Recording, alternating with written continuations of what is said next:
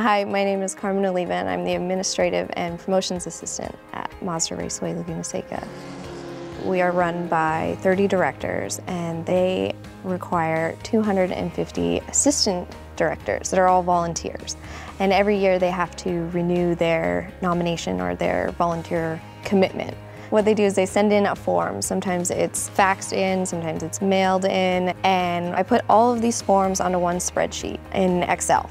Last year, I wasn't the only one who was able to edit that file. Things happened and the name of the file got changed and I ended up working on one that had a different name, another staff member. She was working on the copy of that one and we were just completely had to go back to square one. Using the Google Forms just completely eliminates all of that. The assistant directors can go online, fill out their form, and it automatically goes into a spreadsheet for me. The directors are constantly emailing me asking, has this been turned in? Has this been turned in? With Google Cloud Connect, I'm able to share that document with the directors and they'll see on their own when they're being turned in.